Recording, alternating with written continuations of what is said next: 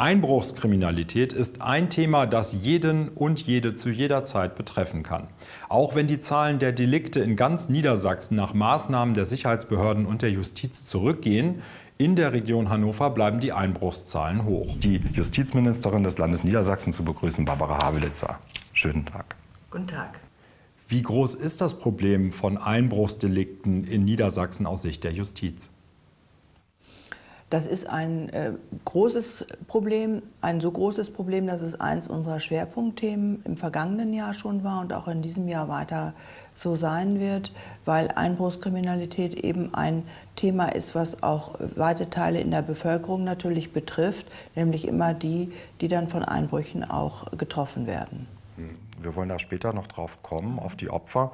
Ähm, es gibt ja sozusagen äh, Unterschiede zwischen Einbruchskriminalität im Land und auch in den Ballungsräumen. Wie kann man das beschreiben? Das kann man so beschreiben, dass häufig in den Ballungsräumen die Einbruchskriminalität prozentual höher ist als in den ländlichen Bezirken. Das ist klar, die Häuser stehen enger zusammen, die Wohnungen liegen enger beieinander, sodass Einbruchskriminalität da natürlich auch zügiger, schneller ähm, vonstatten gehen kann.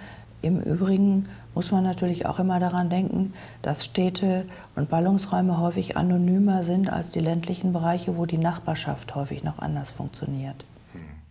Wie gerüstet sind eigentlich, wir wollen ja auf die Justiz blicken, wie gerüstet sind die Staatsanwaltschaften in Niedersachsen bei diesem Thema?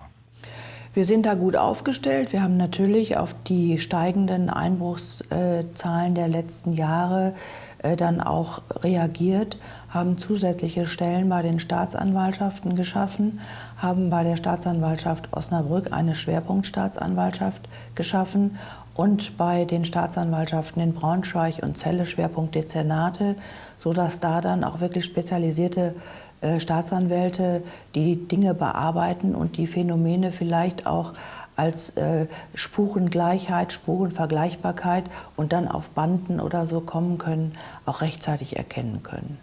Sie haben es schon angerissen, also äh, die Qualifikation, die so ein Staatsanwalt haben muss. Ist das eine spezielle Ausbildung? Aber was müssen die speziell mitbringen, die Staatsanwälte, für das Thema Einbruchskriminalität? Also eine spezielle Ausbildung im klassischen Sinne ist das nicht, sondern das sind dann Staatsanwälte, die sich mit dem Phänomen Einbruch äh, besonders beschäftigen und die natürlich, das Handwerk haben sie ja nun mal gelernt, sich dann mit speziellen Tätertypen bzw. Äh, speziellen Spurenlagen gemeinsam mit der äh, Polizei auseinandersetzen und dann entsprechend entdecken und auch aufdecken und ermitteln, ob es sich zum Beispiel um Einzeltäter handelt, ob es sich um Banden handelt, ähm, ob die Banden zum Beispiel auch Ortswechsel vornehmen, also sozusagen durchs Land marodieren. Das erkennt man natürlich bei äh, konzentrierten und spezialisierten äh, Dezernaten besser, als wenn jede Staatsanwaltschaft jedes einzelne Delikt wieder in unterschiedlichen Dezernaten getrennt bearbeitet. Man muss sich das mal vorstellen, da ist jemand äh, eingebrochen bei äh, einer Person. Die Opfer, die spielen da eine ganz besondere Rolle und auch eine ganz besonders schützenswerte Rolle. Ähm, jemand hat äh, mein komplettes Intimstes durchwühlt. Sie haben es eben schon gesagt, da wurden Spuren gesichert. Ähm, also es, es kommt erst der Einbruch, dann kommt natürlich die Spurensicherung.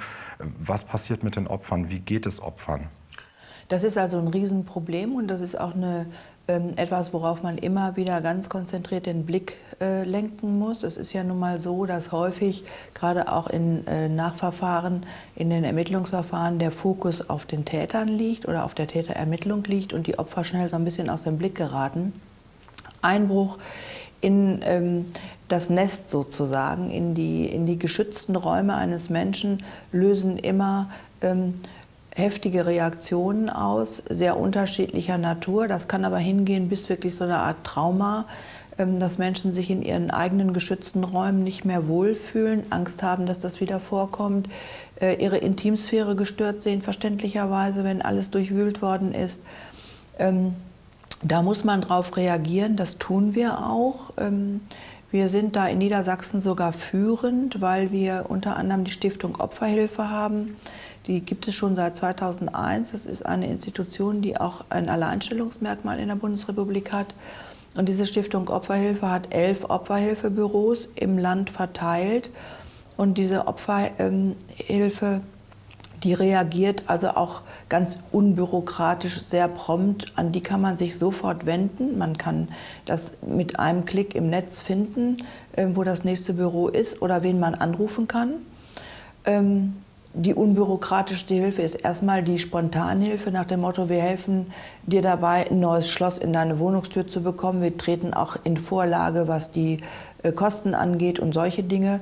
Und es geht dann weiter hin bis zu einer äh, Psycho, äh, psychosozialen Prozessbegleitung, ähm, wenn die Opfer sich, häufig sind es ja auch ältere Menschen, ähm, das alleine nicht mehr bewältigen können ein spannendes, dichtes Thema. Ich freue mich, dass Sie äh, uns Rede und Antwort gestanden haben. Barbara Havlitzer, die Justizministerin des Landes Niedersachsen. Herzlichen Dank für das Gespräch. Gerne.